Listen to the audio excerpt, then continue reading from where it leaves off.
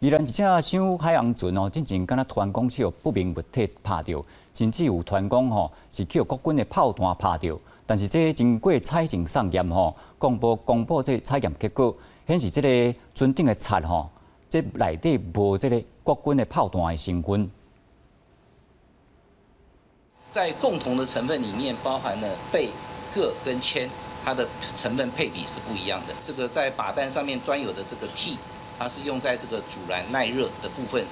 那这个是在船体上面是没有检出的，所以说我想这两个气体是完全不同的。广播强调，从这报告内底显示，吼，这个船顶的漆并无在炮弹成分内底的铁，吼，显示这这炮弹并无去吸着船身，而且比对这海巡海军的雷达的分析，吼，显示这个船当时并无入去管制区内底。